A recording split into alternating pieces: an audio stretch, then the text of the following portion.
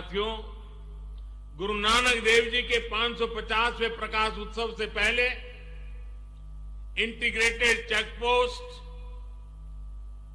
करतारपुर साहब कॉरिडोर,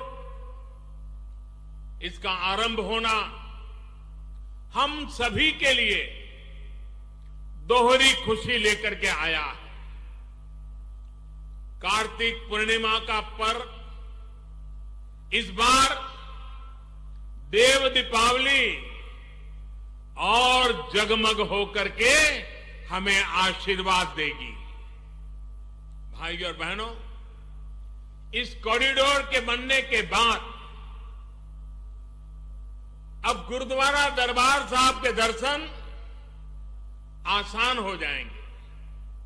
मैं पंजाब सरकार का, शिरोमणि गुरुद्वारा प्रबंधक कमेटी का इस कॉरिडोर को तय समय में बनाने वाले हर श्रमिक साथी का बहुत बहुत आभार व्यक्त करता हूँ।